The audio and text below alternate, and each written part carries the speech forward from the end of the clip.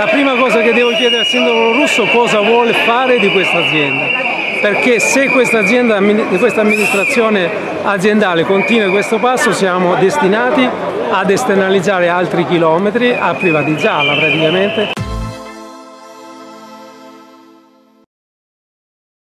Siamo qui responsabilmente a chiedere al sindaco se ha voglia di intraprendere un percorso di risanamento vero e di rilancio del trasporto pubblico nel territorio. L'azienda sta eh, comunque, eh, nonostante la nuova amministrazione aziendale, vuole incidere, vuole recuperare il buco di bilancio solo ed esclusivamente sugli operatori di esercizio, operai, tecnici personale comunque del verificatore fiscale eccetera perché sta smaltellando quel settore e quindi noi siamo qui a farci ascoltare dal, sindaco perché è una situazione abbastanza preoccupante in quanto andando così avanti questa azienda non ha più futuro perché comunque c'è una carenza di personale impressionante, le condizioni di lavoro che hanno gli operatori di esercizio ormai sono insostenibili e non sono equiparabili allo stipendio. Per cui abbiamo diversi licenziamenti, mai successo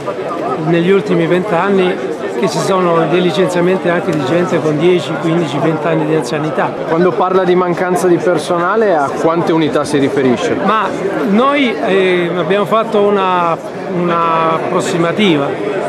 Noi contiamo che ci vorrebbero allo stato attuale almeno 200 operatori di esercizio in più perché l'azienda dice anche meno, ma perché l'azienda lavora sullo straordinario strutturale e non è neanche corretto. Condizioni di lavoro, lei si riferisce a turni massacranti, si riferisce sì. a straordinari che diceva sì, essere ormai diventati la prassi? Sì, sì, è uno straordinario strutturale.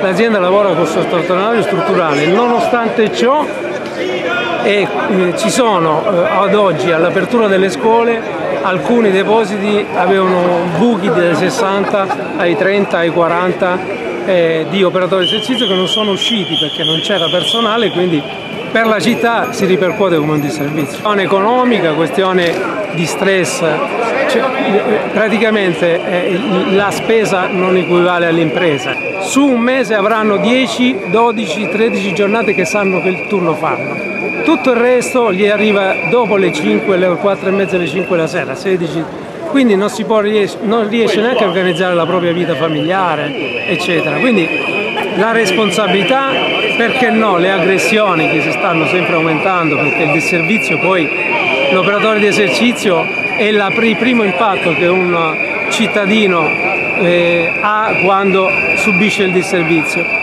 e spesso e volentieri si finisce a, a ci sono dei diversi episodi di aggressione.